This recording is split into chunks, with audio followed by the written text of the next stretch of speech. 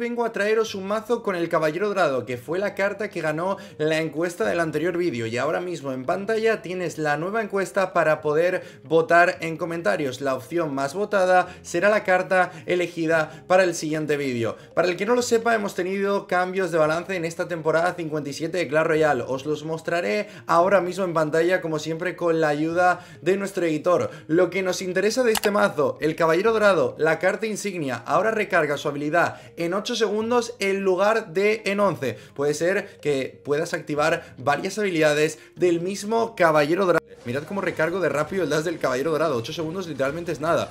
Lo que no me esperaba es que mi caballero dorado hiciese ese trickshot rework sobre la excavadora, que desde mi punto de vista es un buff. Es mucho más fácil hacer daño sobre la torre de los rivales. La estructura pierde un poco de vida, pero el primer duende sale 0,5 segundos antes, lo cual hace que prácticamente aparezca ya conectando sobre la torre del rival. También ha bufeado el arquero mágico, pero no me parece tan interesante, aunque se agradece ya que lo tenemos que jugar en el día de hoy. Por lo demás, arqueras evolucionadas, Larrys evolucionados, tenemos tornado, tenemos fantasma y tenemos cañón con ruedas, vamos. Los típicos mazos que ya se jugaban anteriormente con caballero dorado, tornado y excavadora Solo que ahora incluyendo dos evoluciones y dándole un poco de jugueteo al meta Como por ejemplo podéis ver con este fantasma que también nos va a ayudar a defender excavadoras enemigas. Para jugar las partidas estoy en gran desafío Voy 8-1, el objetivo va a ser conseguir las 12 victorias sin morir en el intento Que es casi la una de la mañana ahora mismo en España, el país desde el cual estoy grabando el vídeo. Así que señores, como siempre, un mazo por aquí contra el que ganarías, otro contra el que perderías y nos vamos con la primera partida del vídeo.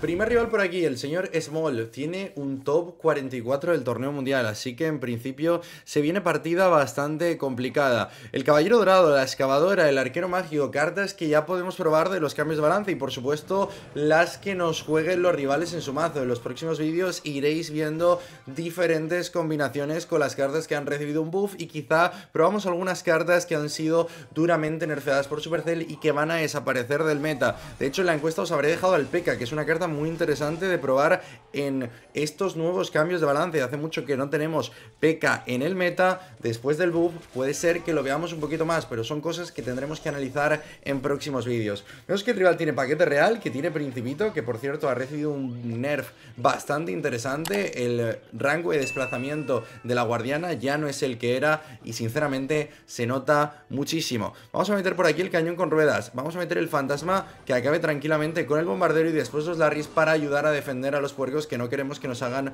un montón de daño. Entiendo que el rival querrá defender con algún hechizo del estilo al paquete real, viene genial en esta situación. Yo lo que voy a hacer es poner por aquí mi caballero dorado para poder seguir acompañando el ataque y ahora que veo los Larrys evolucionados del rival, activo la habilidad de mi caballero dorado para que termine conectando también sobre la torre te vas a quedar sin bomber, el principito está muy lejos, no tienes elixir para activar la habilidad para meter esa guardiana y mi cañón con ruedas te va a destrozar la existencia.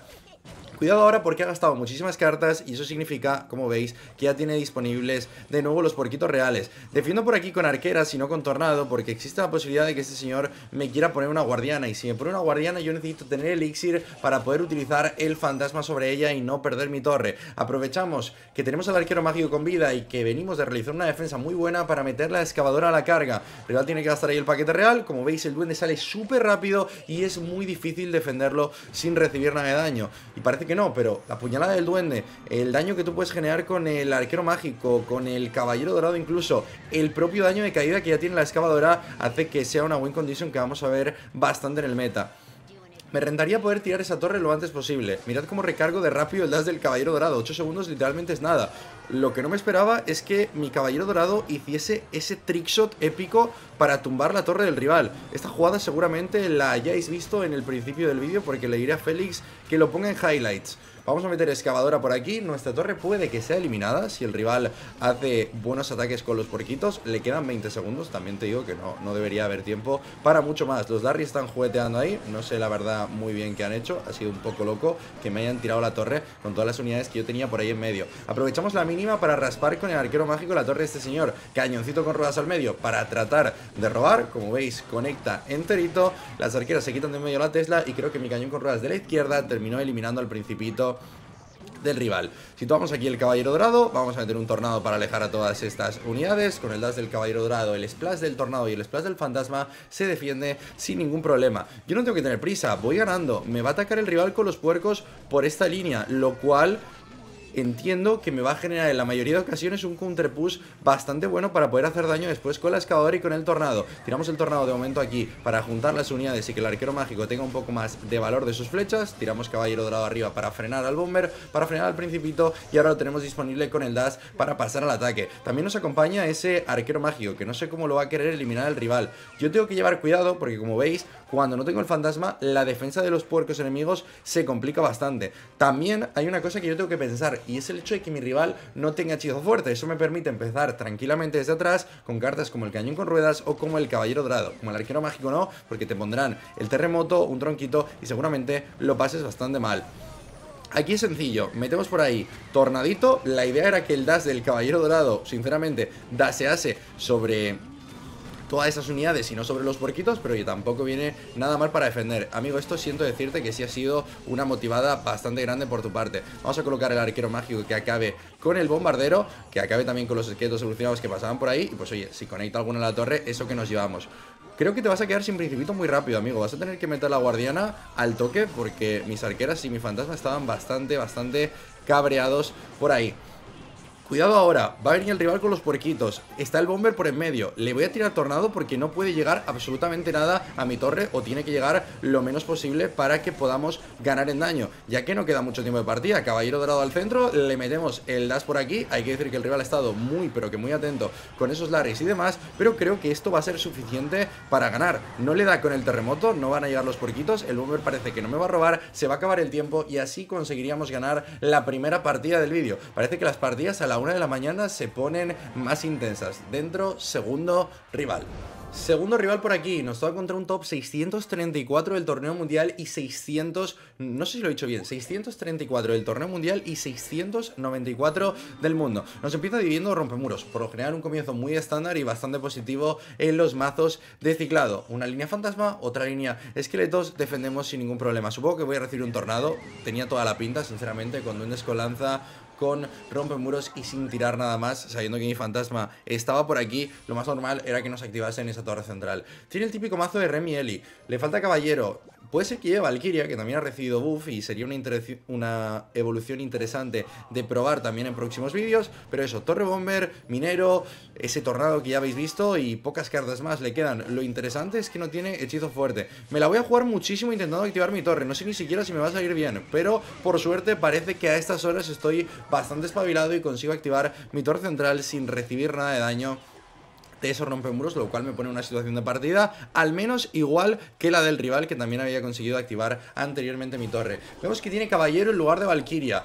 La valquiria le han aumentado un 15% sus puntos de vida para la evolución. Así que puede que sea interesante verla en próximos vídeos. También lo dejaré todo, como siempre, a vuestra elección. Tiramos fantasma por aquí. Hay que evitar que por lo menos el gran rompemuro llegue a la torre o uno de ellos. Metemos cañón con ruedas para eliminar al arquerito mágico que no nos pueda juguetear con el tornado y pasar con esas unidades al ataque. Los rompemuros sí que me van a dar bastante problemas, sobre todo cuando aparezcan evolucionados, porque realmente lo único que yo les puedo hacer es tirarles fantasma y tirarles tornado. Son 6 de elixir, tengo que posicionar una unidad, lo cual dejará libre en principio que mi rival pueda utilizar un arquero mágico al puente.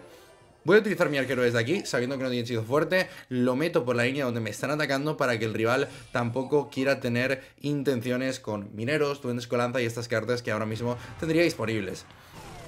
Pregunta, ¿le dará tiempo el rival a defender la excavadora sin recibir nada de daño? Mirad que ha puesto los rompemuros, eh, yo creo que casi predic prácticamente, y aún así ha terminado recibiendo daño en su torre. He metido el tornado para acabar con el arquero mágico porque pensad que nuestro caballero dorado estaba bastante lejos y si no iba a ser muy complicado poder quitárselo del mapa. Como veis, todo el arquero mágico un poquito más atrás para que pueda acabar con la torre bomber y que la torre bomber no pueda interactuar con él, que no queremos que le llevan bombazos a nuestro arquero mágico, que en principio debería de ser una carta a la que le tenemos bastante aprecio. Tienes que gastar el tornado, yo voy a meter por aquí mis arqueritas evolucionadas para que acaben con el caballero, para que acaben con los duendes y para que pasen al counter push por la línea que me interesa. De nuevo, vuelve a defender con los rompemuros. Ahora sí, super predict, pero claro, no acabas con los duendes que salen al morir la excavadora. Supongo que va a tener que bajar caballero. Yo la verdad podría haber metido el dash de mi caballero dorado para poder conectar sobre los duendes del arquero y eliminar esas amenazas, pero como habéis visto no he estado muy espabilado. Nos olvidamos de los rompemuros evolucionados. Sí, hace mucho daño, duele, pero ahí no los podemos defender y pensad que esa no es la torre que tenemos que defender. Metemos aquí cañoncito con ruedas, cuidado con su tornado que nos puede juguetear bastante, por eso meto el caballero dorado aquí. Vaya predix, se acaba de comer así en un momento nuestro rival para evitar que el arquero mágico nos destroce la torre. A ver, era algo muy evidente, el cañón con ruedas estaba bastante bien situado para que mi rival le pudiese poner un tornado y hay que tener en cuenta que mi mazo no tiene hechizo fuerte, así que tampoco podría reaccionar a eso de la mejor manera. Y si gasto el tornado, pues en ataque, como comprenderéis, no somos tan peligrosos. Supongo que va a hacer minero rompemuros. Al menos es lo que yo tendría en mente. Metemos cañoncito con ruedas, metemos fantasma arriba para que acabe con ellos. Cuidado con los tornados del rival. De verdad os digo que os puede dar un dolor de cabeza muy grande defendiendo sus arqueros mágicos. Metemos arqueras ahí. Voy a alejar al arquero mágico. Creo que va a ser lo mejor. Porque eliminarlo y poder distraerlo con otras unidades no va a ser muy viable. Tranquilidad, que ese arquero mágico no nos va a tumbar la torre. Cuidado con los próximos rompemuros que sí que pueden ser un peligro. Cañón con ruedas que acabamos de tirar en nivel Jesucristo para acabar con su arquero mágico y la verdad que es una de las partidas más épicas que estamos jugando en los últimos vídeos de YouTube. Vamos a ciclar otra excavadora, como veis rotamos súper rápido porque tenemos al campeón en la arena, al caballero dorado, le vamos a meter tornado por aquí para poder enganchar a su arrequero mágico, que la excavadora por el otro lado siga molestando con el fantasma, con el arquerito en la izquierda ya vamos bastante bien. Yo si fuese mi rival me atacaría rápidamente con rompemuros y con miner, al menos es lo que tendría más sentido, al menos desde mi punto de vista. Eh, creo que no se hace así, amigo. No sé.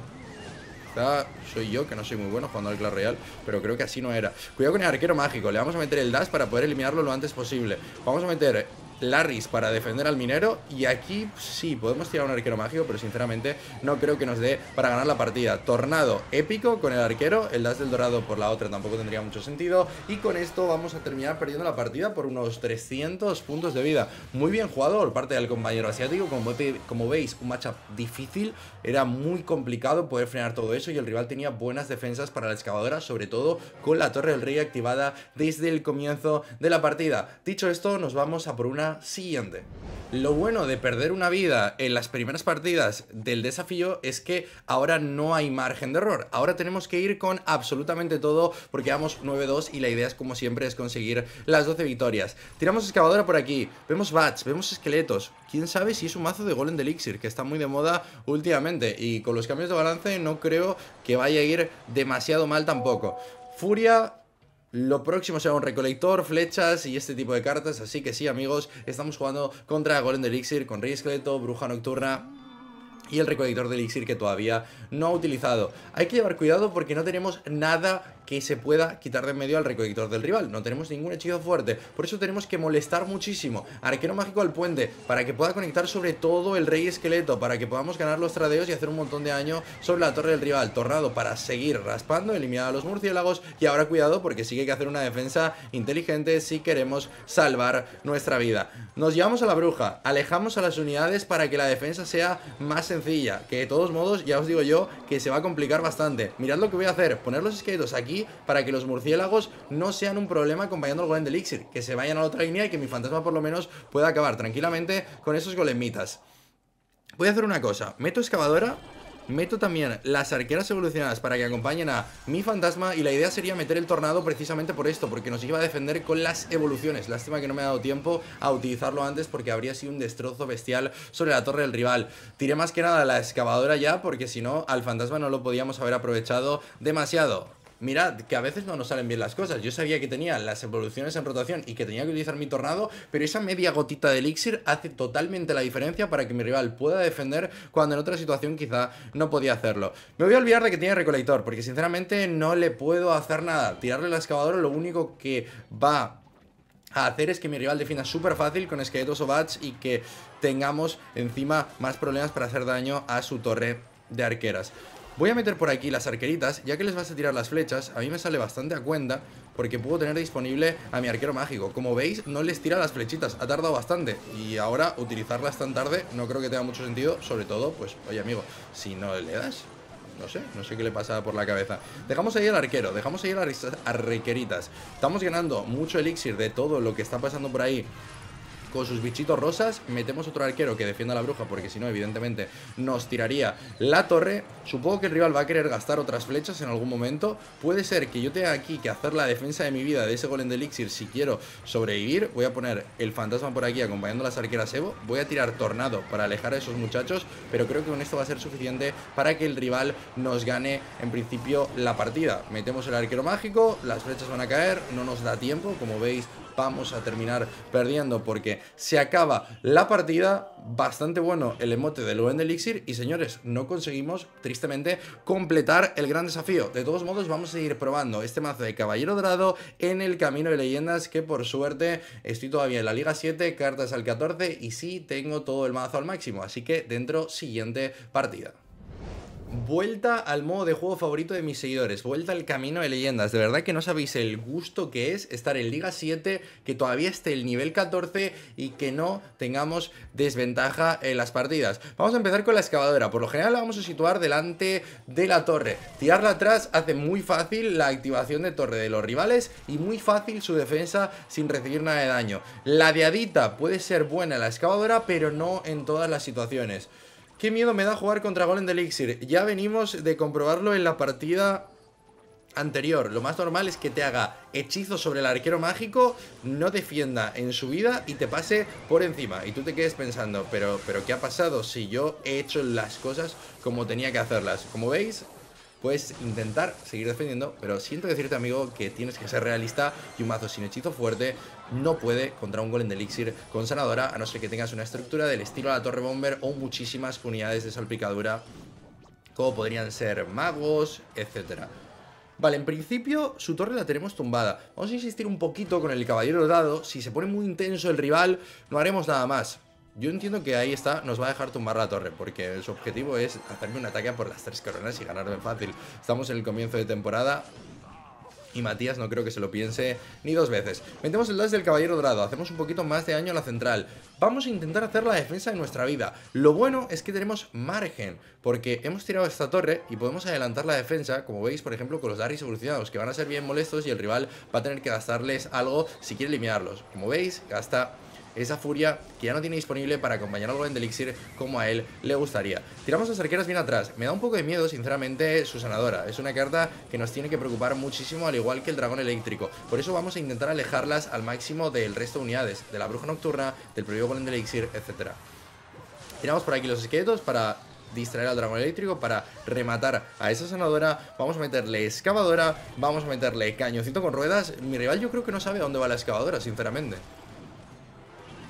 Yo creo que se ha bugueado, porque ahí puedes pensar que la excavadora va perfectamente a la torre de, arqueras. Vamos a poner por aquí nuestro arquero mágico. Ahora sí que vamos a tener muchos problemas. Yo creo, sinceramente, que lo mejor no es defender porque os van a tirar la torre. Yo lo que haría sería aprovechar que no queda tanto tiempo de partida para intentar tumbar la torre de este señor y que sea una carrera por tres coronas. Que en una carrera por tres coronas, pues todavía podéis tener un poco de oportunidad. Pero si os centráis en defender, no tenéis ningún chance.